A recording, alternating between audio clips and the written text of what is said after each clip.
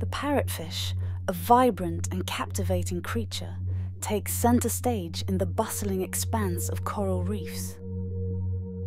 With their beak shaped jaws and ability to display a diverse range of colors, these fish are not only residents, but also vital players within their thriving underwater communities.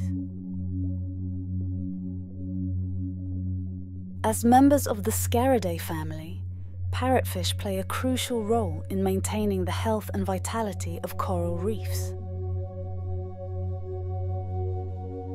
They consume algae that compete with coral for sunlight and space, ensuring that corals can access the resources they need to thrive. This activity supports the biodiversity for which coral reefs are renowned, providing shelter and food for countless species. Primarily found in shallow, tropical, and subtropical waters around coral reefs, rocky coasts, and seagrass beds, parrotfish contribute significantly to bioerosion. Their beak like jaws and numerous tightly spaced teeth allow them to efficiently scrape algae off corals and other surfaces. This dietary habit is critical in controlling algae growth, which, if left unchecked, could suffocate and degrade the reef.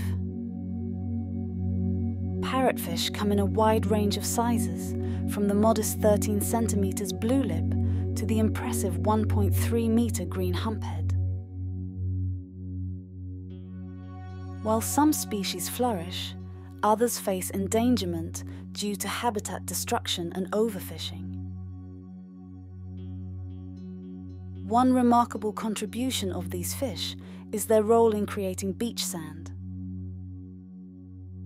As they digest coral, they excrete it as sand, replenishing marine sediment reserves. A single humphead parrotfish can produce up to 200 pounds of sand annually. At night, some parrotfish species secrete a mucus cocoon for protection against predators, parasites, and diseases. This fascinating behavior serves multiple functions, including concealing their scent from predators, such as moray eels, and acting as a barrier against pathogens.